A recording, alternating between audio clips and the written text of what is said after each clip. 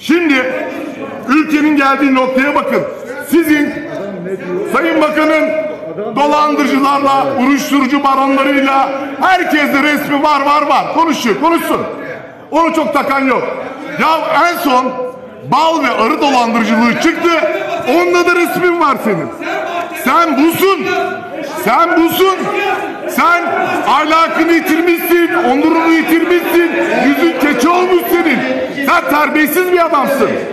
Sen bir bakana yakışır mı hareket ediyorsun? Ne laf atıyorsun bana? Hangi yüzle laf atıyorsun? Ya senin yüzün keçe olmuş keçe. Anlatıyorum. Bunlar yalan mı? Bunlar yalan mı? Bunlar yalan mı? Senin yüzün keçe gibi olmuş. Sen utanma duygunu yitirmişsin. Yazıklar olsun.